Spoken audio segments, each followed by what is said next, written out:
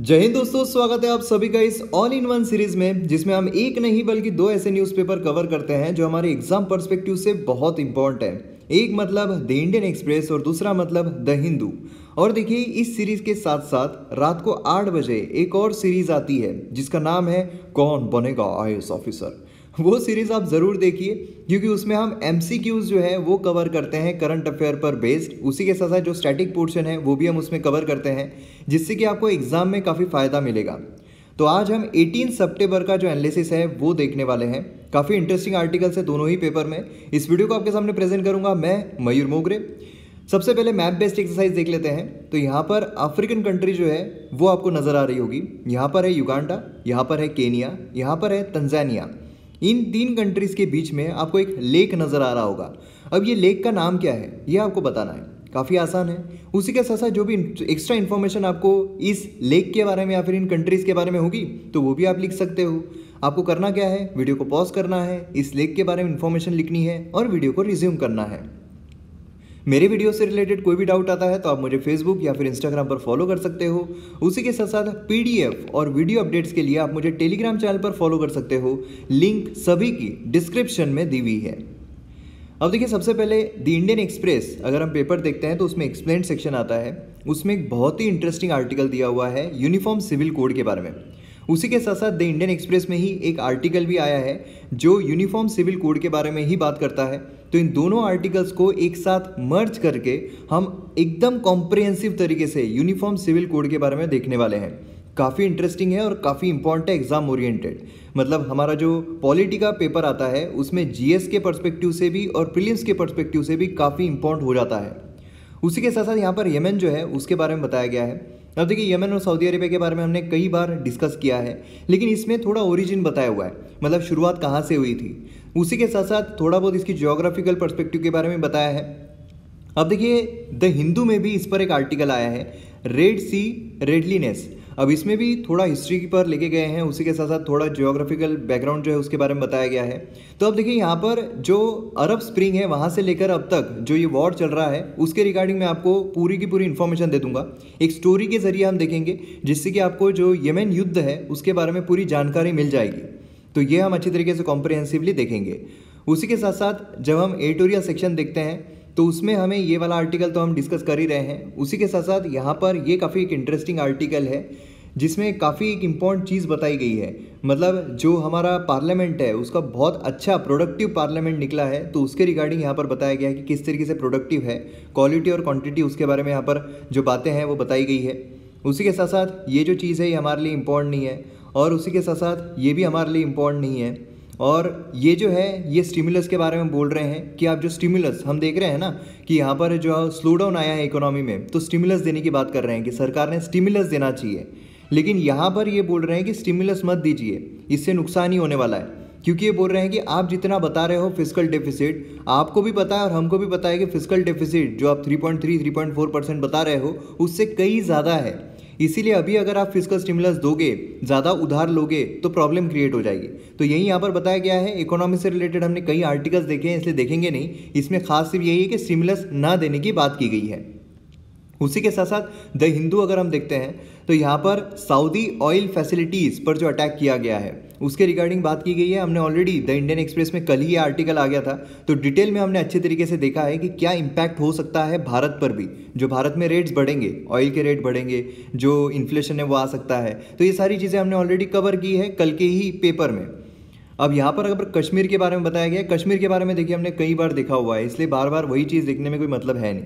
उसी के साथ साथ यहाँ पर पाइप ड्रीम्स ग्राउंड रियलिटी के बारे में बात की गई है। अब ये काफ़ी इंपॉर्टेंट है, क्योंकि कौन कौन सा वाटर पोल्यूटेड है, कौन सा अनपोल्यूटेड है, उसी के साथ साथ सरकार ने यहाँ पर क्या करना चाहिए? काफ़ी चीज़ों के बारे में बताया गया है। सोल्यूशन ओरिएंटेड है तो एग्ज़ाम परस्पेक्टिव से काफ़ी इंपॉर्टेंट है। उसी के साथ साथ यहाँ पर जो डेडली स्प्रेड है, उसके बारे में बताया गया है, जो मेसल्स है, उसके बारे में बताया गया है, उस डिसीज़ के बारे में। तो काफ़ी इंपॉर्टेंट है। अब यहाँ पर देखिए, सिर्फ़ जो मेसल्स है उसके बारे में बताया गया है, लेकिन इसी से कनेक्टेड एक और है रूबेला तो दोनों जो है, वो हम अच्छी तरीके से देखने की कोशिश करेंगे, क्योंकि अगर सिर्फ़ न्यूज़पेपर में जो आ रहा है, वही मैं आपको बताऊँ तो उसमें मतलब क्या रहेगा? मतलब तो तब है आपको देखने का, जब मैं एक्स्ट्रा इन्फॉर्मेशन आपको प्रोवाइड करूँ, और इजी वे में प्रोवाइड करूँ तो यही काम मेरा है तो यहाँ पर मैं वो करूँगा ही। जो भी रिलेटेड इन्फॉर्मेशन है एग्ज़ाम ओरिएंटेड वो सब कुछ हम कवर करेंगे। तभी तो ये सीरीज़ हाई यील्ड सीरीज़ कहलाएगी, जो आपके एग्ज़ाम में काफ़ी हेल्पफुल रह सकती है। उसी के साथ साथ यहाँ पर animal friendly food is animal friendly तो ये जो है, ये एक अलग टाइप का मीट की बात कर रहा है। अब देखिए, एक होता है नॉर्मल मीट जो एनिमल का मीट होता है, और दूसरा है क्लीन मीट मतलब यहाँ पर ये क्लीन मीट की बात कर रहा है ये वाला आर्टिकल तो देखेंगे क्लीन मीट बेसिकली होता क्या है। तो शुरू करते हैं। यहाँ पर आ रहा है हमारा सबसे पहला यूनिफॉर्म सिविल कोड अब ये हमारे जीएस पेपर टू के लिए काफ़ी इंपॉर्टेंट है। अब देखिए लास्ट वीक सुप्रीम कोर्ट में जो केस चल रहा था, उसमें उन्होंने डिस्क्राइब किया कि जो गोवा है। वो एक शाइनी एग्ज़ाम्पल है यूनिफॉर्म सिविल कोड का। मतलब गोवा में हमें बहुत अच्छी तरीके से यूनिफॉर्म सिविल कोड जो है वो देखने को मिलता है। अब सवाल ये आता है कि यूनिफॉर्म सिविल कोड क्या है? और अगर पूरे भारत में ये लागू होता है तो उससे किस तरीके से बेनिफिट हो सकता है? हमारे संविधान में इसके क्या प्रोविजंस दिए गए हैं? सब कुछ बहुत इंपॉर्टेंट है। तो सबसे पहले हम देखते हैं यूनिफॉर्म सिविल कोड बेसिकली क्या है। यूनिफॉर्म सिविल कोड का मतलब होता है आसान शब्दों में कि one law for entire country मतलब एक ही लॉ रहना चाहिए पूरी कंट्री के लिए। अब तो वही है मतलब अगर किसी ने मर्डर किया तो फिर मर्डर सभी तरफ़ उसका जो सज़ा है वो एक ही तरीके की है। मतलब अगर आप आसाम में मर्डर करते हो या महाराष्ट्र में मर्डर करते हो, बात तो एक ही है मर्डर ही है, एक ही लॉ है। लेकिन यहाँ पर इस लॉ की बात नहीं हो रही है। यहाँ पर हो रही है जो रिलीजन पर्सपेक्टिव के लॉज होते हैं, जो कम्युनिटी पर्सपेक्टिव के लॉज होते हैं, जैसे कि मैरिज डिवोर्स उसी के साथ साथ जो इनहेरिटेंस होता है मतलब जो विरासत में दी जाती है तो ये जो लॉज है, इसके रिगार्डिंग लॉ अलग अलग है। एक लॉ हमें हमारे कंट्री में देखने को नहीं मिलता है। और अगर ये सब के लिए एक लॉ लाया जाता है तो वो कहलाएगा यूनिफॉर्म सिविल कोड अब देखिए, आपको यहाँ पर कंफ्यूज ये नहीं होना है कि मतलब शादी जो है, इस ढंग की ही होगी या फिर क्रिश्चियन धर्म में जो इस ढंग की होती है तो एक ही तरह की शादी होगी, ये यूनिफॉर्म सिविल कोड नहीं कहता है। ये प्रैक्टिस हो गई कि किस तरीके से अपने कल्चर को आप प्रैक्टिस कर रहे हो रिलीजन को प्रैक्टिस कर रहे हो। लेकिन यहाँ पर जो लॉज होते हैं मतलब मैरिज कब यहाँ पर गिनी जाएगी, कि इस तरीके से आपकी मैरिज जो है रजिस्टर की जाएगी। डिवोर्स इसी तरीके से डिवोर्स किया जाएगा। मतलब हर किसी के अलग अलग तरीके हैं डिवोर्स करने के, मुझे इस तरीके से करना है, मुझे इस तरीके से करना है। लेकिन डिवोर्स का भी एक ही लॉ बनाया जाएगा, कि अगर आप ये फॉलो करते हो तो आपका डिवोर्स माना जाएगा। अब देखिए, हमारा जो संविधान है, उसमें हमें directive principles of state policies देखने को मिलते हैं, जो कि पार्ट फोर में है आर्टिकल 36 से लेकर 51 तक। अब उसका अगर हम आर्टिकल 44 देखते हैं तो वो यूनिफॉर्म सिविल कोड के बारे में बात करता है। वो कहता है कि state shall endeavour to secure for the citizens a uniform civil code throughout the territory of India पूरे टेरिटरी में यूनिफॉर्म सिविल कोड ये लाना स्टेट का काम रहेगा। तो अब यहाँ पर जब हमारे संविधान में दिया हुआ है तो फिर क्या प्रॉब्लम है? क्योंकि संविधान में अगर कोई चीज़ दी गई है तो वो तो लागू होनी ही चाहिए। लेकिन ये direct principles of state policy में दिया हुआ है। Directive principle of state policy मतलब क्या है? कि एक गाइडलाइन प्रोवाइड करती है स्टेट को मतलब जो सरकार है उसे, कि इस पर बेस्ड आप लॉज बना सकते हो। अब यहाँ पर, जैसे कि स्टेट जो है, उसे अधिकार दिया गया है। कि जैसे यहाँ पर स्टेट मतलब जो सरकार है, जो मोदी जी वो बोलेंगे, मित्रों, चलो कुछ तूफानी करते हैं। तूफानी मतलब क्या है? यूनिफॉर्म सिविल कोड लागू कर दिया जाएगा। मतलब सब एक तरीके से यहाँ पर डिवोर्स पा सकते हैं। इस तरीके की चीज़ें जो है वो लाई जा सकती है। लेकिन प्रॉब्लम यहाँ पर यह है कि उसी में आर्टिकल 37 जो है, वो कहता है कि ये एनफोर्सेबल नहीं है बाय एनी कोर्ट मतलब कि अगर यूनिफॉर्म सिविल कोड फॉलो नहीं होता है, इसके बावजूद हमारे संविधान में दिया हुआ है, फिर भी अगर किसी कोर्ट में आप ले जाओगे तो वो आप नहीं ले जा सकते हो. It's not enforceable by any court अब देखिए हमारे directive principle of state policy में राइट टू वर्क का भी प्रावधान दिया गया है कि आपको काम करने का अधिकार है. तो इसका मतलब क्या ये है कि जो अनएम्प्लॉयड है, जिसे काम नहीं मिल रहा है, वो जाएगा कि मेरा जो अधिकार है, उसका वॉयलेशन हो रहा है और यहाँ पर मुझे काम नहीं मिल रहा है। तो नहीं जा सकता है। क्यों? क्योंकि ये direct principle of state policy में दिया हुआ है। वही अगर ये फंडामेंटल राइट में होता तो फिर जो इंसान है वो जा सकता था कि मेरा फंडामेंटल राइट वॉलेट हो रहा है, मुझे काम नहीं मिल रहा है। तो इस तरीके से यहाँ पर directive principle of state policies जो है, ये गाइडलाइन प्रोवाइड करते हैं और इसके बलबूते पर आप कोर्ट में नहीं जा सकते हो। मतलब ये एनफोर्सेबल नहीं है।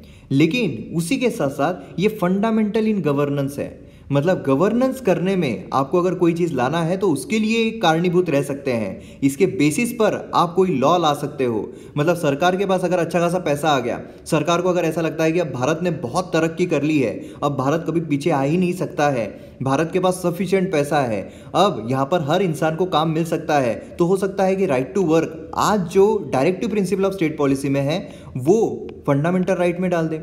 मतलब आपका जो मूलभूत अधिकार है वो बन जाएगा काम करना। और अगर आप काम नहीं कर पा रहे हो, अगर स्टेट आपको काम देने में सक्षम नहीं है, रही है तो फिर आप जो आर्टिकल 32 के तहत सुप्रीम कोर्ट में जा सकते हो कि मेरा जो फंडामेंटल राइट है वॉयलेट हो रहा है। तो डायरेक्टिव प्रिंसिपल के बारे में ये दो चीज़ें काफ़ी इंपॉर्टेंट है जो आपको याद रखनी है प्रीलिम्स परस्पेक्टिव से।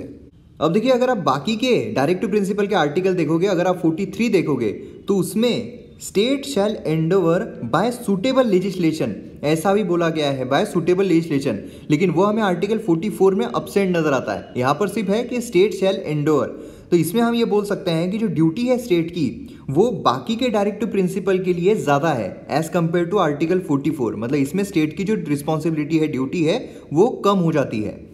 अब देखिए, यहाँ पर हमेशा से डिबेट रही है कि फंडामेंटल राइट और directive principle of state policy में से श्रेष्ठ कौन सा है, बड़ा कौन सा है। अब इस पर कई निर्णय आए सुप्रीम कोर्ट के। उसके बाद फाइनली डिसाइड किया गया कि जो फंडामेंटल राइट है, वो प्रिवेल करेगा। मतलब वो श्रेष्ठ है as compared to directive principle of state policy उसके बाद 1980 में मिनरवा मेल केस होता है, जिसमें जो सुप्रीम कोर्ट है, वो कहता है कि इंडियन कॉन्स्टिट्यूशन जो है, वो फाउंड की गई है इन दोनों के बैलेंस पर। मतलब दोनों जो है हारमोनी के साथ चलने चाहिए। अगर हम किसी को श्रेष्ठ, किसी को नीचा दिखाने की कोशिश करेंगे तो फिर यहाँ पर हारमोनी जो है वो बिगड़ सकती है, जिससे कि प्रॉपर तरीके से कामकाज नहीं हो पाएगा।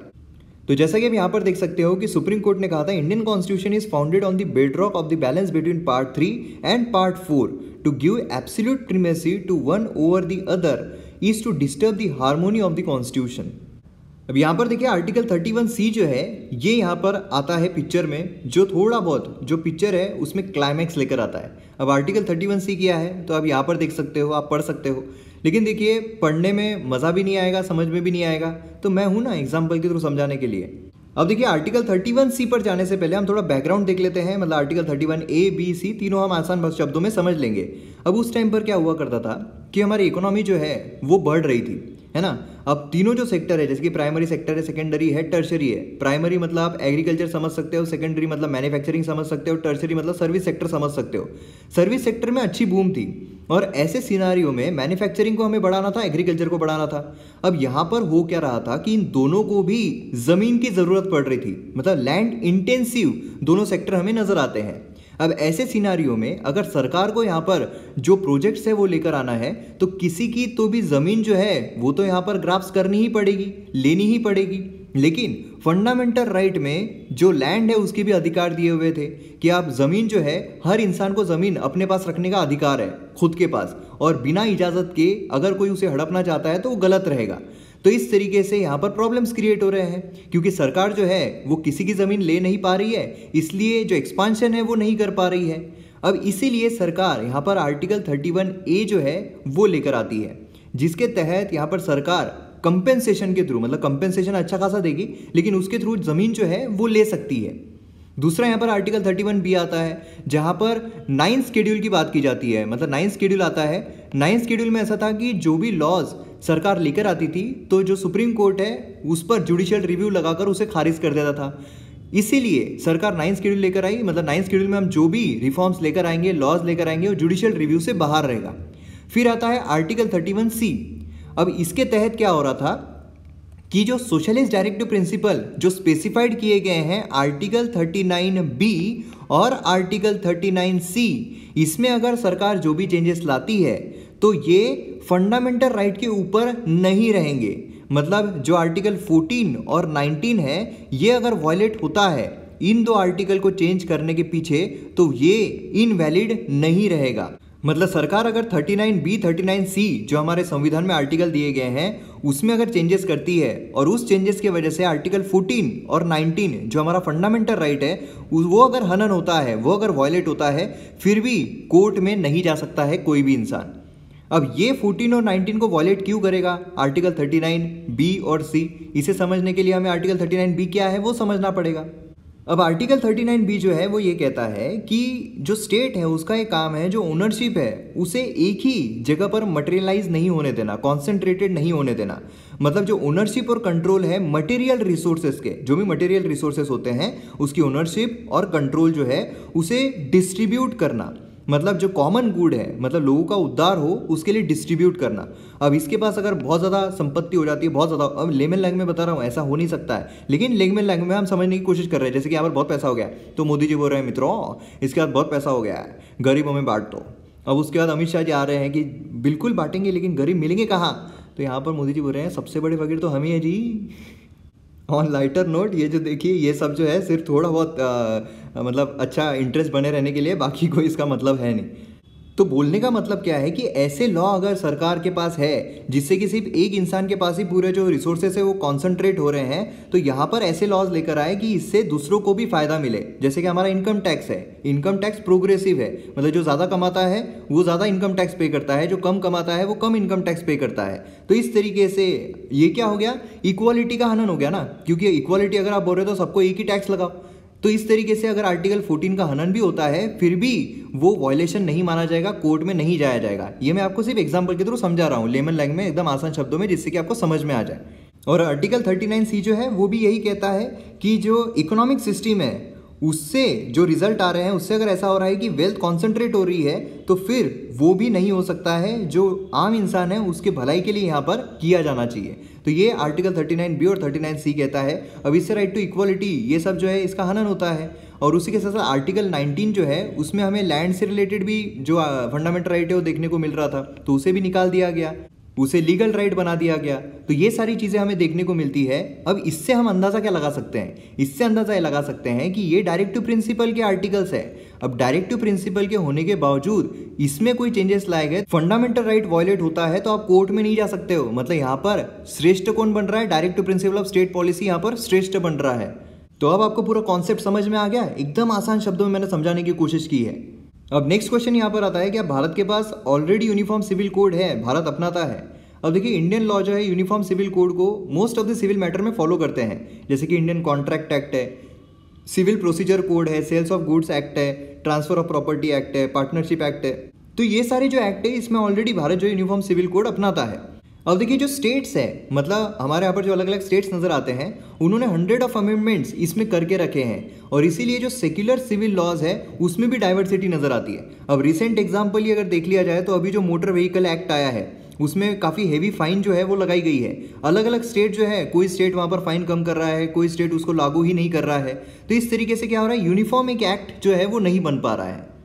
अब देखिए, यहाँ पर एक कैच ये भी है कि अगर फ्रेमर्स को ये लगता था कि यूनिफॉर्म सिविल कोड जो है वो पूरे भारत में एक जैसा लागू होना चाहिए तो पूरी जो पावर है, पूरी जो ज्यूरिडिक्शन है, वो पार्लियामेंट के हाथ में ही देती थी। मतलब वो जो चीज़ है, वो यूनियन लिस्ट में देती थी, क्योंकि जो तीन लिस्ट है union list state list concurrent list union मतलब सिर्फ़ पार्लियामेंट उस पर लॉ बना सकती है स्टेट सब्जेक्ट मतलब सिर्फ़ स्टेट उस पर लॉ बना सकती है कॉन्करेंट मतलब दोनों ही उस पर लॉज बना सकते हैं। तो अगर फ्रेमर जो है हमारे कॉन्स्टिट्यूशन के, उन्हें ऐसा चाहिए था कि यूनिफॉर्म सिविल कोड पूरे भारत में लागू हो तो फिर उसका ज्यूरिडिक्शन पार्लियामेंट के ही हाथ में देती थी यूनियन लिस्ट में डालकर। लेकिन पर्सनल लॉज जो है, उसे उन्होंने कॉन्करेंट लिस्ट में रखा। अब देखिए, ये इंपॉर्टेंट हो जाता है। पर्सनल लॉ कौन से लिस्ट में है? ऐसा क्वेश्चन पूछा जा सकता है। तो पर्सनल लॉ कॉन्करेंट लिस्ट में है। लास्ट ईयर अगर हम देखते हैं तो लॉ कमीशन जो है, उन्होंने यूनिफॉर्म सिविल कोड जो है, वो कहा था कि नाइदर फिजिबल नॉर डिजायरेबल मतलब फिजिबल भी नहीं है मतलब लागू भी नहीं किया जा सकता है, क्योंकि एज वो कॉन्करेंट लिस्ट में है तो अलग अलग स्टेट्स उससे निकलने का रास्ता देख ही लेगी। अब देखिए, यहाँ पर सबसे बड़ा सवाल आता है कि क्या यहाँ पर कोई कॉमन पर्सनल लॉ है, किसी रिलीजन कम्युनिटी के लिए, जो कि पूरे भारत को एक साथ गवर्न कर रहा है? तो अब देखिए, पूरी हिंदूज जो है, उनके लिए भी हमारे कंट्री में एक लॉ नज़र नहीं आता है। मुस्लिम्स के लिए भी नहीं क्रिश्चियन के लिए भी नहीं। अलग अलग जगहों पर जो अलग अलग कम्युनिटी रहती है, उनके लिए अलग अलग लॉज है। अब सिर्फ़ देखिए ब्रिटिश लीगल ट्रेडिशन जो है, सिर्फ़ वही नहीं तो अभी पोर्तुगीज़ ने जो लॉज लेकर आए थे, जो फ्रेंच ने लॉज लेकर आए थे, वो भी अभी तक किसी पार्ट में ऑपरेटिव है। जैसे कि पुर्तगीज जो है, वो कौन से पार्ट में? दीव दमन, वो सारे पार्ट में थे। उसी के साथ साथ फ्रेंच अगर आप देखोगे तो पोंडीचेरी वहाँ पर वो पार्ट में थे। तो अभी भी कोई कोई पार्ट में ये जो लॉज उन्होंने लेकर आए थे, अभी भी वो चल रहे हैं। इसीलिए यहाँ पर जो अंग्रेज़ है, वो कह रहे हैं कि हमारे लॉ तुम अब तक चला रहे हो। पर यहाँ पर बोल रहे चल निकल। अब इसी के कुछ एग्ज़ाम्पल यहाँ पर दिए हुए हैं। जैसे कि जम्मू एंड कश्मीर 5 अगस्त 2019 तक लोकल हिंदू लॉ स्टेटस जो है, वो डिफर्ड था सेंट्रल एनैक्टमेंट से। शरिया एक्ट जो है 1937 का वो इनैक्ट किया गया था जम्मू एंड कश्मीर में और उसके बाद उसे रिपेल कर दिया गया। अब जो मुस्लिम्स है कश्मीर के, वो कस्टमरी लॉज के थ्रू गवर्न किए जाते हैं, जो कि बहुत सारे वेज में मुस्लिम पर्सनल लॉ के काफ़ी अलग है। रेस्ट ऑफ़ कंट्री में जो चलता है, उससे काफ़ी अलग है। उसी के साथ साथ जो रजिस्ट्रेशन ऑफ़ मैरिज है मुस्लिम्स का, वो भी डिफर करता है प्लेस टू प्लेस तो इस तरीके से हम देख सकते हैं कि अलग अलग कम्युनिटी अलग अलग जगहों पर अलग अलग लॉज के थ्रू गवर्न की जा रही है। अब यहाँ पर सबसे बड़ा सवाल आता है कि आइडिया जो है यूनिफॉर्म सिविल कोड का, वो फंडामेंटल राइट टू रिलीजन, इससे हम कैसे अटैच कर सकते हैं? मतलब अगर यूनिफॉर्म सिविल कोड मतलब सारे के सारे देश में एक ही लॉ अगर लेकर आ जाते हैं हम तो क्या यहाँ पर हमारा जो फंडामेंटल राइट टू रिलीजन है, वो वॉयलेट हो सकता है? तो इसे समझने के लिए हमें आर्टिकल 25 आर्टिकल 26 भी समझना पड़ेगा हमारे संविधान का, जो कि फंडामेंटल राइट है। अब देखिए 25 क्या कहता है? Individual fundamental right of religion की बात करता है। मतलब एक इंसान को अधिकार है इंडिविजुअल पर्सन को, कि वो अपना रिलीजन जो है प्रोपोगेट कर सकता है, खुद जो रिलीजन है उसे वो फॉलो कर सकता है और फोर्सफुल जो है वो कन्वर्जन नहीं किया जा सकता है। ये सारे अधिकार जो इंडिविजुअल फंडामेंटल राइट के थ्रू मिलते हैं। उसी के साथ साथ जो रिलीजियस ग्राउंड्स होते हैं मतलब जो कम्युनिटी है, वो अपने अफेयर्स खुद बना सकती है रिलीजन को लेकर। ऐसा आर्टिकल 26 बी में दिया हुआ है। अब डिटेल में अगर आपको ये देखना है तो मेरी जो पॉलिटी की सीरीज़ है, वो आप देख सकते हो। पॉलिटी की सीरीज़ में मैंने चैप्टर वाइज जो इंडियन पॉलिटी लक्ष्मीकांत है, वो किताब को चैप्टर वाइज कवर किया है बहुत ही अच्छी तरीके से। तो वो अगर आपने सीरीज़ नहीं देखी है तो ज़रूर देखिए, उससे आपको बहुत फ़ायदा मिलेगा और इसका इन डेप्थ नॉलेज मिलेगा। अब देखिए, यहाँ पर कॉन्स्टिट्यूंट असेंबली जो है, वहाँ पर भी डिवीज़न देखने को मिला था। यूनिफॉर्म सिविल कोड को फंडामेंटल राइट में डाला जाए या ना डाला जाए। अब ये मैटर जो है, ये वोट के थ्रू सेटल किया गया था। इसीलिए इसे direct to principle of state policy में डाला गया। पहले फंडामेंटल राइट में डालने की बात की जा रही थी। फिर फाइव टू फोर की मेजोरिटी से इसे डायरेक्ट टू प्रिंसिपल में डाला गया। और इसीलिए हम ये बोल सकते हैं कि यूनिफॉर्म सिविल कोड जो है, उसे लेस इंपॉर्टेंस दी गई फ्रीडम ऑफ़ रिलीजन के परस्पेक्टिव से। अब देखिए, यहाँ पर जो हिंदू लीडर थे और मुस्लिम लीडर थी, दोनों ने ये कोशिश की कि हमारे जो पर्सनल लॉज है, उसे हम स्टेट रेगुलेशन से बाहर रखते हैं, कि बस स्टेट की उसमें कोई भी दखल अंदाजी नहीं रहेगी। इसलिए यूनिफॉर्म सिविल कोड जो है, वो लागू किया ही नहीं जा सकता है। लेकिन ऐसा नहीं हो सका, काफ़ी अटेम्प्ट किए गए, लेकिन फिर भी यूनिफॉर्म सिविल कोड को डीपीएसपी में डाला गया और जो पर्सनल लॉज है, उसे स्टेट रेगुलेशन से बाहर नहीं रखा गया। तो अब आपको यूनिफॉर्म सिविल कोड के बारे में पूरी इन्फॉर्मेशन जो है कॉम्प्रिहेंसिव इन्फॉर्मेशन यहाँ पर मिल गई होगी। अब नेक्स्ट आर्टिकल यहाँ पर आता है, जो यमन है, उसके रिगार्डिंग बात की गई है। मतलब वहाँ पर युद्ध जो है वो हमें क्यों देखने को मिल रहा है? तो इंडियन एक्सप्रेस द हिंदू दोनों में ये आर्टिकल हमें देखने को मिलता है। कॉम्प्रिहेंसिवली थोड़ा एक्स्ट्रा इन्फॉर्मेशन के साथ इतिहास जो है वो देखने की कोशिश करेंगे, क्योंकि इंटरनेशनल रिलेशन में अक्सर पूछा जाता है। अरब स्प्रिंग के बारे में पूछ सकते हैं। तो देखिए अरब स्प्रिंग जो है वो हमें क्यों देखने को मिलता है? क्योंकि मिडल ईस्ट कंट्रीज़ अगर आप मोस्टली देखोगे तो वहाँ पर राजा जो है वो राज करते थे। अब वही राजा जब राज कर रहे हैं तो जनता पर ध्यान नहीं देना, उसके बाद वहाँ पर गरीबी, ये सब कुछ देखने को मिल रहा था। और उसी बीच ट्यूनिशिया जो है, वहाँ पर एक फ्रूट वाले ने खुद को आग लगा दी। यहाँ पर आप देख सकते हो, यह ट्यूनिशिया का एक फ्रूट सेलर, जिसने अपने आप को आग लगा दी, इसका नाम मोहम्मद था। इसने आग लगाने के बाद जो उठाव है, आक्रोश है लोगों का, वो देखने को मिलता है। और अलग अलग कंट्रीज़ में मतलब जहाँ पर हमें राजा जो है, वो देखने को मिल रहे थे, उन्हें हटा दिया जाता है। जैसे कि इजिप्ट लीबिया वहाँ पर जो भी राजा राज करते थे, जैसे कि इजिप्ट अगर हम देखेंगे तो वहाँ पर मुबा, मुबारक जो है, वो राज करते थे उनतीस साल से। लीबिया अगर आप देखोगे तो वहाँ पर गद्दाफी जो है, वो राज करते थे। तो इस तरीके से जो भी राजा वहाँ पर राज करते थे, उन्हें हटा दिया जाता है और डेमोक्रेसी जो है, वो स्थापित करने की कोशिश की जाती है। अब यहाँ पर अगर आप देखोगे तो यूएसए जो है यूएसए और रशिया इन दोनों के बीच में लड़ाई तो हमेशा से चलती रही है। अब यहाँ पर यूएसए डेमोक्रेसी स्थापित करने की बात की जा रही थी, इसलिए इन्हें सपोर्ट कर रहे थे। मतलब जो अरब स्प्रिंग हो रहा था तो उन्हें ये सपोर्ट कर रहे थे कि वह राजा जो है उन्हें हटा दो। अब उसी के साथ साथ रशिया जो है, वो नहीं चाहता था कि जब राजा हट जाए तो ये जो कंट्रीज़ वहाँ पर डेमोक्रेसी स्थापित कर रही है, वो यूएसए के साइड हो जाएगी। इसलिए रशिया जो है, उन्होंने सीरिया में जो राजा था, उसे हटने नहीं दिया। उसी के साथ साथ वो नहीं चाहता था सीरिया, यमन में जो भी चीज़ें हो रही है, वहाँ पर इस तरीके की हरकतें हो। अब इसीलिए सीरिया में मोस्टली हमें रिज़ल्ट जो है वो देखने को नहीं मिलता है और यमन में भी इसका कोई रिज़ल्ट हमें देखने को नहीं मिलता है। मतलब आज भी वहाँ पर जो राजा है, वही काम कर रहा था। अब यहाँ पर हम यमन जो है, ख़ास उस पर नज़र डालते हैं। सबसे पहले तो यमन कहाँ पर आता है? तो मिडिल ईस्ट में हमें देखने को मिलता है, ये आपको यमन नज़र आएगा। उसी के ऊपर सऊदी अरेबिया नज़र आएगा और यहाँ पर आपको ओमान जो है वो नज़र आएगा। कई बार हमने मैप के थ्रू जो है यमेन, सऊदी अरेबिया इसकी सैर की है। अब देखिए यहाँ पर दो बड़ी जो एक पावर है वो देखने को मिलती है। एक तो राजा जो है मतलब अली अब्दुल्ला सैली और उसी के साथ साथ अली मोहसिन अल अमर तो ये दोनों वहाँ पर देखने को मिलते हैं। ये मिलिट्री के हेड थे। अब यहाँ पर ये जो है साले, ये उनको, उनके बेटे को यहाँ पर मिलिट्री का हेड बनाना चाहते थे। अब इनके पास आधी मिलिट्री तो थी, आधी मिलिट्री इन्हें सपोर्ट करती थी, आधी मिलिट्री इन्हें सपोर्ट करती थी। तो इसीलिए दोनों पावरफुल थे और दोनों की वजह से यहाँ पर हमें सिविल वॉर जैसी सिचुएशन जो है, वो देखने को मिलती है।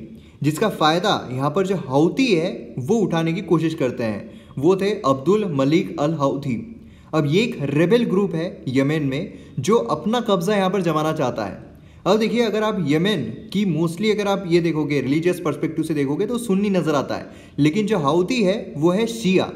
अब शिया होने की वजह से जो ईरान है, वो हाउती को सपोर्ट करते हैं। क्योंकि ईरान में भी हमें शिया मुस्लिम जो है, वो देखने को मिलते हैं। और इनका ये बोलना था कि ये जो यहाँ पर राजा है, ये इनका बिल्कुल उद्धार नहीं कर रहे हैं, ये काफ़ी पिछड़े हुए रहे हैं, इन सब के वजह से। इसलिए वो चाहते हैं कि हमारा यहाँ पर राज रहना चाहिए।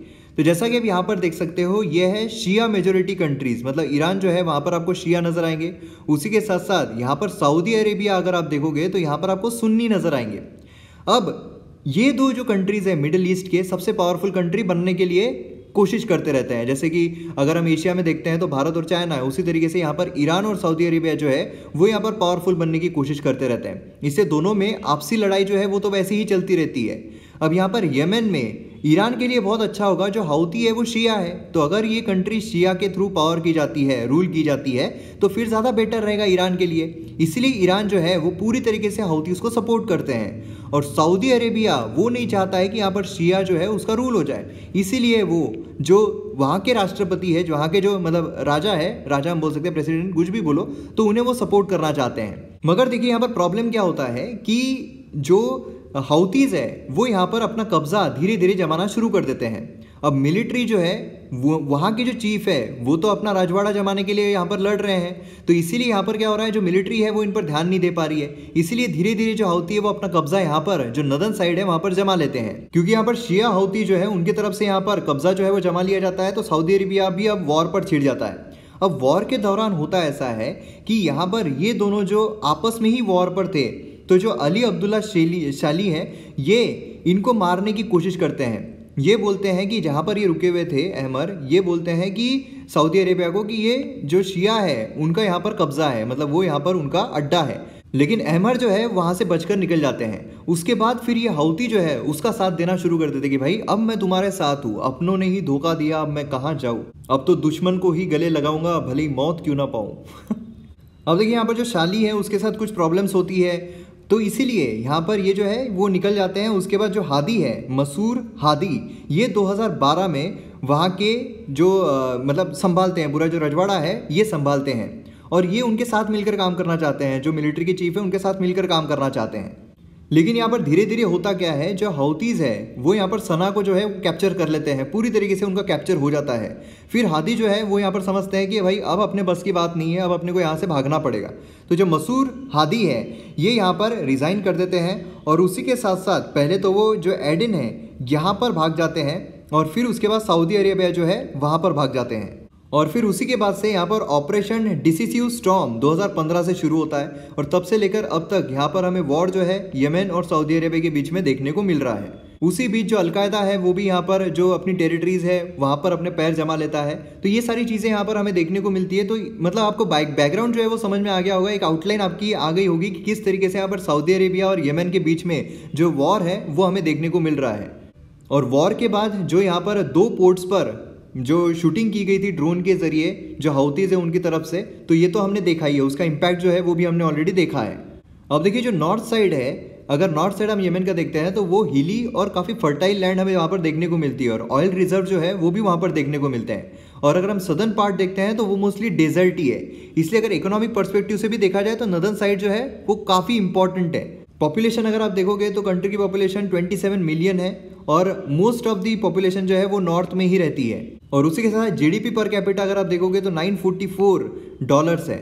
मतलब भारत की जो पर कैपिटा है उसके आधे से भी कम। तो ये जो इन्फॉर्मेशन है, इस पर भी क्वेश्चन जो है वो पूछा जा सकता है ज्योग्राफिकल परस्पेक्टिव से। इस पर क्वेश्चन पूछा जा सकता है पॉलिटी में भी इस पर क्वेश्चन आ सकता है। तो ये सारी इन्फॉर्मेशन है जो आपको पता रहनी चाहिए। तो अब नेक्स्ट आर्टिकल यहाँ पर आता है पाइप ड्रीम्स ग्राउंड रियलिटी अब यहाँ पर देखिए, यहाँ पर बात की जा रही है, जो यूनियन बजट है, उसमें जो हमारी फाइनेंस मिनिस्टर है, उन्होंने जल जीवन मिशन के तहत जो पाइप्ड वाटर है, वो सभी रूरल हाउस होल्ड को प्रोवाइड करने की बात की थी 2024 तक। अब यहाँ पर जल जीवन मिशन, इसके कौन कौन से मिशन हैं? तो ये चार मिशन बेसिकली इंपॉर्टेंट होते हैं, जो हमारे एग्ज़ाम परस्पेक्टिव से बहुत इंपॉर्टेंट है। ये चारों मिशन एग्ज़ाम में पूछे जा सकते हैं। पाइप्ड वाटर सप्लाई जितने भी रूरल हाउस होल्ड है 2024 तक दूसरा है कि यहाँ पर जो बाकी सेंट्रल और स्टेट गवर्नमेंट स्कीम्स है, उसके साथ कवरेज में ये जो स्कीम है, ये पूरी की जाएगी। उसी के साथ साथ यहाँ पर लोकल इंफ्रास्ट्रक्चर जो है, वो क्रिएट किया जाएगा, जिससे कि रेन वाटर हार्वेस्टिंग हो सके। रेन वाटर हार्वेस्टिंग मतलब पानी जो आता है, उसे बचा कर रखना, जिससे कि हमारी ग्राउंड वाटर जो है, वो रिचार्ज की जा सकती है।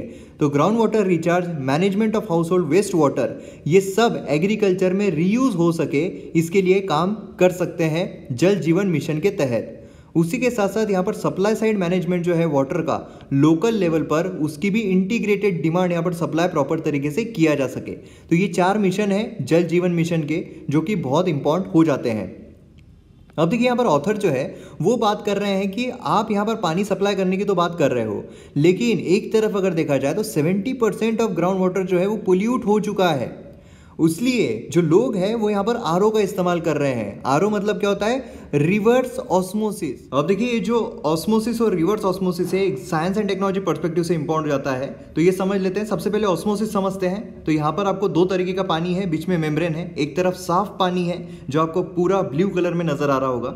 और दूसरा जो है, वहाँ पर आपको सॉल्ट मॉलिक्यूल नज़र आएँगे। मतलब हम ओशन का पानी जो है, वो यहाँ पर कंसिडर करते हैं। अब नॉर्मल ऑस्मोसिस कंडीशन में क्या होता है? जो साफ़ पानी है, वो बहता है मेम्ब्रेन के थ्रू जो सॉल्टी वाटर है, उस तरफ़। मतलब जो फ्रेश वाटर है, वो बहेगा, जो ओशनिक वाटर है, उसकी तरफ़। अब यहाँ पर रिवर्स ऑस्मोसिस प्रोसेस जो है, उसमें इसका उल्टा होता है। इसका उल्टा मतलब क्या है? कि जो सॉल्टी वाटर है मतलब जो ओशनिक वाटर है, वो बहेगा फ्रेश वाटर की तरफ़। यही हमें जो रिवर्स ऑस्मोसिस है मतलब जो आरओ का पानी उसमें नज़र आता है, जहाँ पर जो ओशनिक वाटर है वो साफ़ होता है।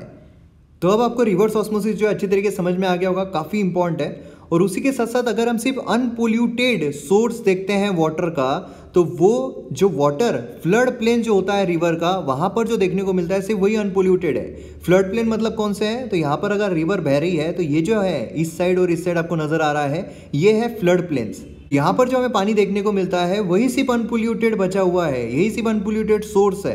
बाकी अगर हम अनपोल्यूटेड वाटर का सोर्स देखते हैं तो जो नेचुरल मिनरल वाटर है, जो फॉरेस्ट के अंडरलाइन देखने को मिलता है, वहाँ हमें जो अनपोल्यूटेड वाटर है, वो देखने को मिलते हैं। अब वाटर लेवल जो है फ्लड प्लेन्स की, उसे प्रॉपर तरीके से मॉनिटर किया जाना चाहिए और वाटर लेवल को नीचे नहीं आने देना चाहिए, उसे ऊपर ही रखना चाहिए, जिससे कि हम कॉन्टेमिनेशन जो है, उसे अवॉइड कर सकते हैं। क्योंकि एक बार ये लेवल नीचे आ गई तो फिर ये भी कॉन्टेमिनेटेड हो जाएगी और फिर हमें जो अनपोल्यूटेड वाटर है, वो नहीं मिल पाएगा।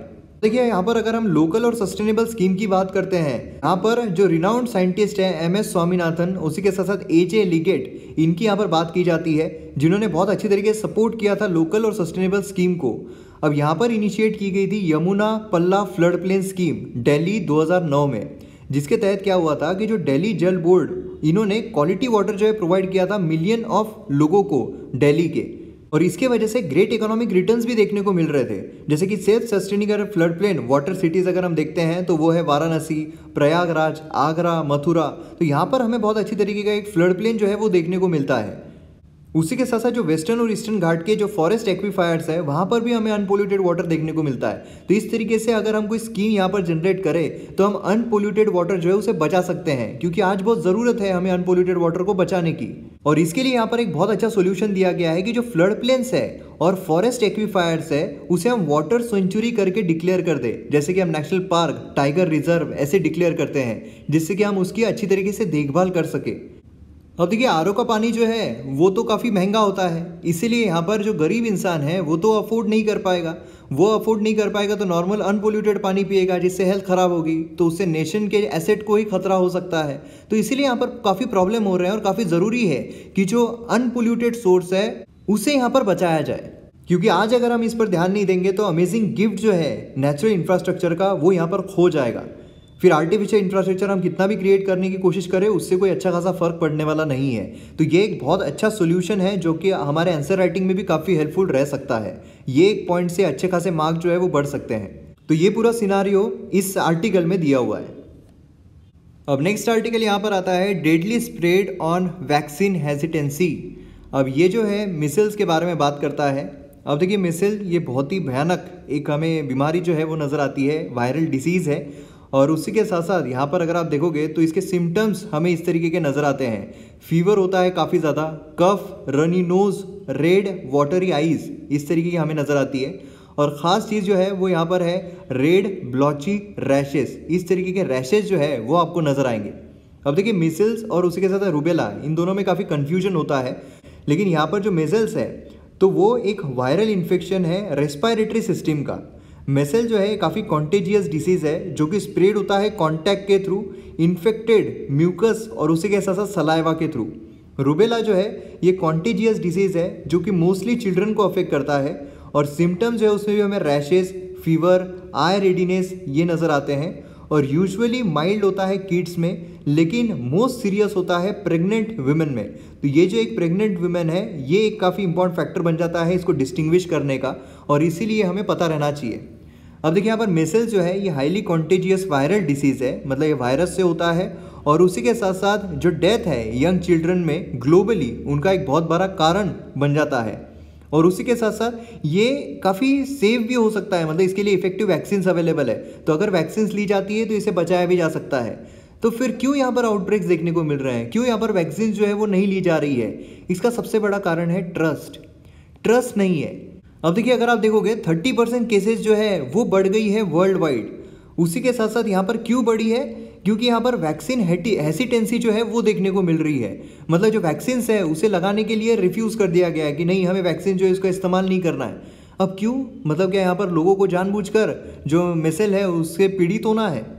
तो देखिए, यहाँ पर मार्च 2019 की जो रिपोर्ट आई थी, उसके हिसाब से 52 परसेंट जो है ईयू के, उन्होंने अग्री किया है कि वैक्सीन जो है वो डेफिनेटली इफ़ेक्टिव काम कर रही है इसे प्रिवेंट करने में। सिर्फ़ 52 परसेंट लोगों ने 32 33 परसेंट अगर हम देखते हैं तो उन्होंने कहा है कि प्रॉबेबली इफ़ेक्टिव हो सकती है। 48 परसेंट जो उन्होंने कहा है कि इसके सीरियस साइड इफ़ेक्ट हो सकते हैं। मतलब आप सोचिए कि इतने लोगों को लगता है कि इसके सीरियस साइड इफ़ेक्ट होंगे। और 38 परसेंट लोग जो है, उन्हें लगता है कि ये एक्चुअली डिसीज़ को कॉज करती है। मतलब इसके वजह से ये जो डिसीज़ है, वो होता है। तो इसीलिए लोग वैक्सीन से दूर भागते हैं। और इसका अगर नेगेटिव प्रपोगेशन होता है, जो सोशल मीडिया है, ये सब पे अगर नेगेटिव प्रपोगेशन होता है तो जो बाकी जगह पर लोग हैं, वो भी इसका इस्तेमाल नहीं करना चाहते हैं। और मतलब जो वैक्सीन है, उसका रिफ्यूज़ल देखते हैं। और इसीलिए 900 परसेंट बिगेस्ट इंक्रीज हमें देखने को मिला है फ़र्स्ट सिक्स मंथ्स इस साल के, अगर हम कंपेयर करते हैं पिछले साल के महीने से। अब देखिए लास्ट मंथ अगर हम देखते हैं तो यूके ग्रीस चेक रिपब्लिक ये जो कंट्रीज़ है, इन्होंने एलिमिनेशन स्टेटस घोषित कर दिया था कि एलिमिनेट हो गया है मेसल्स हमारे कंट्री से। लेकिन इनका जो एलिमिनेशन स्टेटस है, वो भी छीन लिया गया है, वो भी खत्म हो गया है, क्योंकि फिर से यहाँ पर आउटब्रेक हमें देखने को मिल रहा है। अब देखिए 2018 की जो स्टडी है, उसने फाउंड किया है कि अवेयरनेस जो है, वो प्रॉपर तरीके का नहीं है। ये सबसे बड़ा रीज़न है, जहाँ पर 45 परसेंट ऑफ़ द चिल्ड्रन जो है, वो वैक्सीनेशन लेते नहीं है। 121 इंडियन डिस्ट्रिक्ट्स है, जहाँ पर high rate of unimmunized children है मतलब उन्हें इम्यूनाइज्ड नहीं किया गया है इस वैक्सीन के थ्रू इसीलिए हमें सबसे ज़रूरी है कि जो अवेयरनेस है, वो प्रॉपर तरीके से क्रिएट करना पड़ेगा। किस तरीके से क्रिएट कर सकते हैं, जो सोशल मीडिया है, उसके थ्रू यहाँ पर कर सकते हैं। सोशल मीडिया इसमें बहुत इंपॉर्टेंट रोल प्ले कर सकता है, जिससे कि हम ये जो इन्फॉर्मेशन है, ये स्प्रेड कर सके। फेसबुक जो है, वो यहाँ पर जो फेक न्यूज़ है, उसके बजाय अगर अच्छी न्यूज़ स्प्रेड करने लग जाए तो इसका काफ़ी अच्छा इस्तेमाल हो सकता है। अब देखिए, यहाँ पर जानना बहुत ज़रूरी है कि जो मिसल्स है, ये vaccine life time protection provide करती है इस वायरस के। उसी के साथ साथ जो बाकी के इन्फेक्शन होते हैं, उससे भी बचाती है। और इसके वजह से क्या होता है, जो इम्यून सेल है, उसे वो ख़त्म कर देती है, जिससे कि जो चिल्ड्रन है, वो यहाँ पर सेफ़ हो जाते हैं कि उन्हें ये चीज़ें जो है वो नहीं होगी। इससे हम इसके आउटब्रेक से भी बच सकते हैं, क्योंकि अगर ये होता है तो काफ़ी प्रॉब्लम्स क्रिएट होते हैं। और इसीलिए मैं आपसे भी कहता हूँ कि ये जो चीज़ है, जैसे कि हम यहाँ पर डिस्कस करते हैं तो जो सोसाइटी को बेटर बना सकती है, वो चीज़ें आप शेयर किया कीजिए। मतलब आप पॉइंट बता दीजिए बता दिया कीजिए कि यहाँ से यहाँ तक का वीडियो जो है वो देख लो। शायद आपको हेल्पफुल हो सकता है। इतना बड़ा वीडियो देखने की ज़रूरत भी नहीं है हर इंसान को। लेकिन यहाँ पर अगर आप जो छोटी छोटी चीज़ें हैं, अगर आप वो स्प्रेड कर दोगे तो बड़ा बड़ा इम्पैक्ट हमें देश में देखने को मिल सकता है। क्योंकि बड़े बड़े देशों में जब छोटी छोटी चीज़ें कंसिडर की जाएगी, तभी ये छोटी छोटी चीज़ें देश को और बड़ा बना सकती है। अब देखिए इस आर्टिकल में एनिमल फ्रेंडली मीट के बारे में बात किया गया है। अब देखिए, यहाँ पर हमें जो एग्ज़ाम ओरिएंटेड इंपॉर्टेंट चीज़ें हैं, वो समझना ज़रूरी है। यहाँ पर जो प्राइमरी प्रोड्यूसर होते हैं मतलब आपको कितनी एनर्जी मिलती है, वो यहाँ पर आप पिरामिड देख सकते हो। मतलब जो प्राइमरी प्रोड्यूसर्स होते हैं, उन्हें यहाँ पर सबसे ज़्यादा एनर्जी मतलब अगर आप यहाँ पर देखोगे तो हंड्रेड परसेंट अगर एनर्जी मिल रही है मतलब जैसे प्लांट्स है, वो सन से एनर्जी ले रहे हैं तो उन्हें वो हंड्रेड परसेंट एनर्जी मिल रही है। फिर जो प्राइमरी कंज्यूमर रहेंगे मतलब जो प्लांट्स को यहाँ पर खा रहे हैं, उन्हें यहाँ पर, इन्हें जब हंड्रेड मिल रही थी तो इन्हें सिर्फ़ टेन एनर्जी मिल रही है। मतलब आप सोचिए कि पहले प्लांट्स को हंड्रेड परसेंट फिर जो प्लांट्स को खा रहे हैं, उन्हें यहाँ पर सिर्फ़ टेन परसेंट उसकी एनर्जी जो है, वो प्राप्त हो रही है। फिर जो प्लांट्स को खा रहे हैं, अगर कोई उन्हें खाते हैं मतलब यहाँ पर सेकेंडरी कंज्यूमर्स आ जाते हैं मतलब फॉर एग्ज़ाम्पल अगर कोई रैबिट को खा रहा है तो उसे सिर्फ़ उसकी वन परसेंट एनर्जी मिलेगी।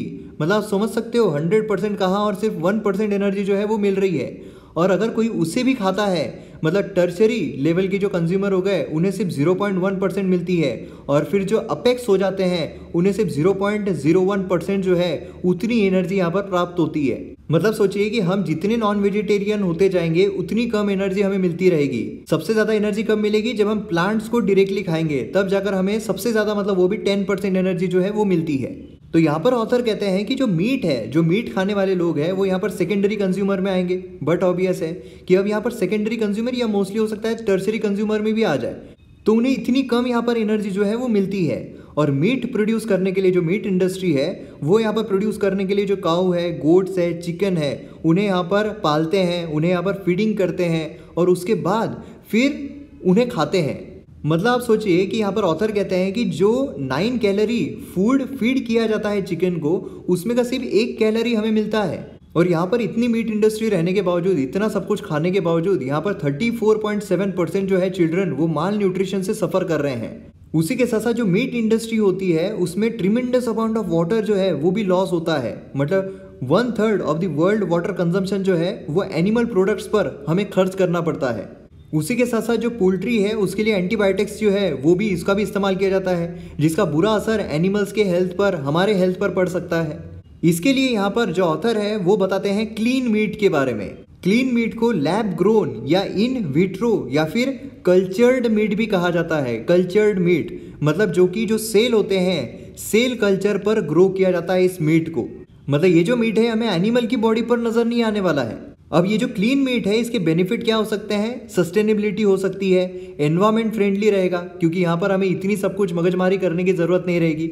उसी के साथ साथ एनिमल वेलफेयर एनिमल्स को हम यहाँ पर मार नहीं रहे हैं, उनका हनन नहीं हो रहा है। मतलब जो एक जो फ़ूड वेब है, वो हम प्रॉपर तरीके से मेंटेन रख रहे हैं। फ़ूड सेफ्टी भी रहेगी, क्योंकि यहाँ पर हमें अच्छी तरीके से पता है, जो एनिमल को हम खा रहे हैं, वो किस तरीके का रहा है, उसे कौन सी बीमारी रही है, ये सब हमें पता नहीं रहता है। तो यहाँ पर फ़ूड सेफ्टी भी रहती है। अब ये किस तरीके से प्रोड्यूस किया जाता है तो यहाँ पर आप देख सकते हो जो स्टेजेस है क्लीन मीट के इसमें। सबसे पहले जो मसल टिश्यू है, वो रिमूव किया जाता है। उसके बाद यहाँ पर स्टेम सेल आपको सेकेंड दिखेगा। उसके बाद जो प्लांट बेस्ड सीरम है, वो यहाँ पर निकाला जाता है मतलब जो ग्रोथ सीरम होता है, जिससे कि जो टिश्यूज़ है, जो सेल्स है, उसकी ग्रोथ होती है। इन दोनों को मिक्स किया जाता है और उसके बाद एक मसल जो है, वो बाहर ग्रो किया जाता है। और फिर उसके बाद यहाँ पर क्लीन मीट जो है, वो सर्व किया जाता है।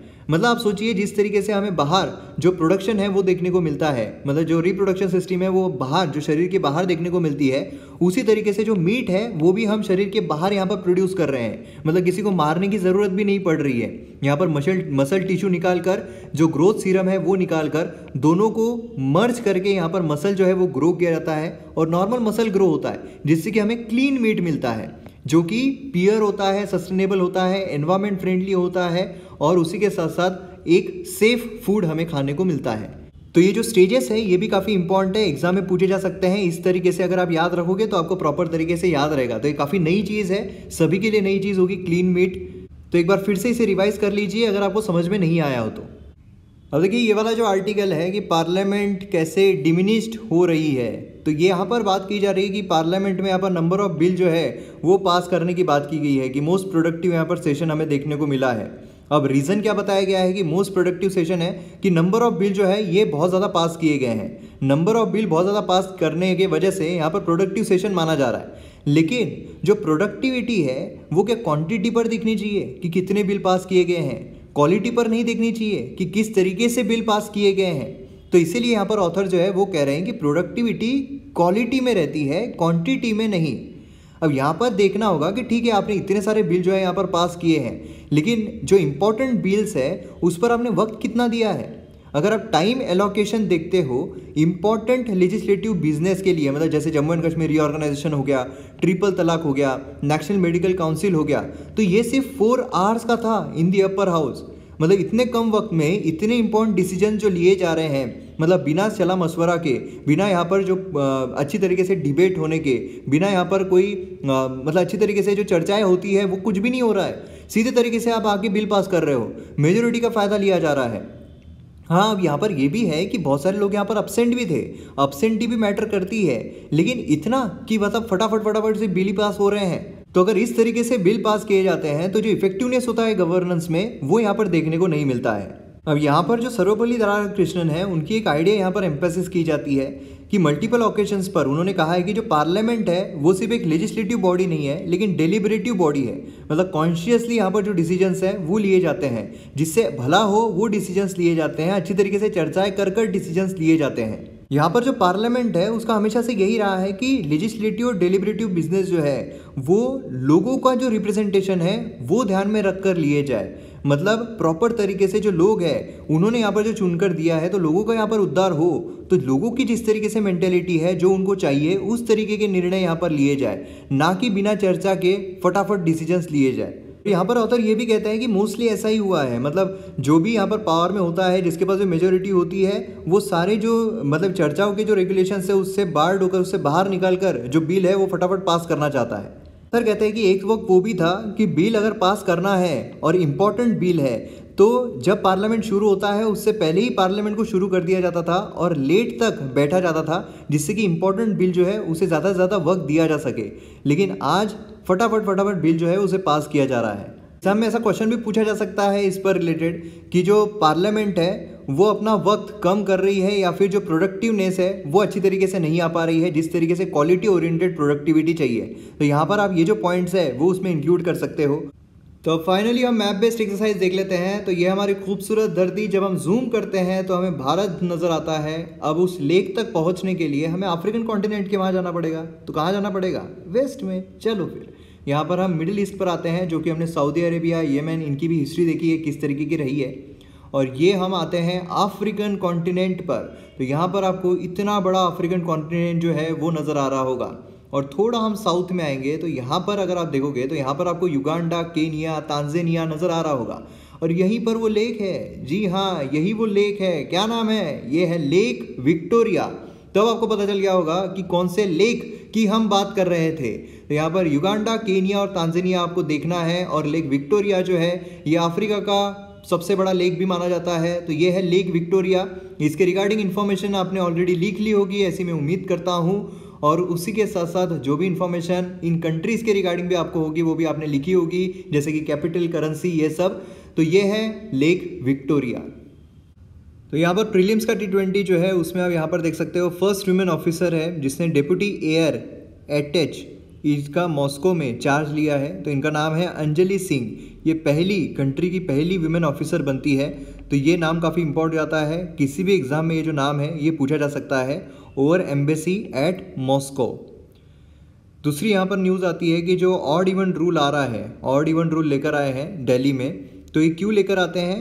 विंटर में खासकर, क्योंकि विंटर में हमने देखा है कि वहाँ पर पोल्यूशन की लेवल बहुत ज़्यादा बढ़ जाती है।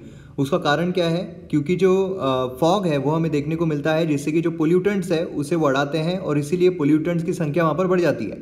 खासकर जो P M two point five P M ten है, उसी के साथ साथ जो स्टेबल बर्निंग है, वो भी इस दौरान हमें देखने को मिलती है, जिससे कि पोल्यूशन की मात्रा और ज़्यादा बढ़ जाती है। इसीलिए इस दौरान पोल्यूशन को कम करने के लिए ऑड इवन रूल जो है, वो लाया जाता है। और इसमें भी जो विमेन है और टू व्हीलर्स है, उसे एग्जामेशन मिल जाएगा, ऐसा कहा जा रहा है। नेक्स्ट यहाँ पर चाइनीज़ एनवाई जो है, उन्होंने कहा है कि सीपीईसी जो है, उसका काम सेकेंड फ़ेज़ में आ गया है।